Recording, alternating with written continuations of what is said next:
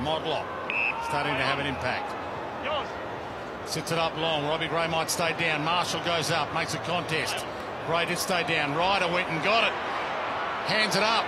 Outside of the boot. Duursma! All the young kids are firing.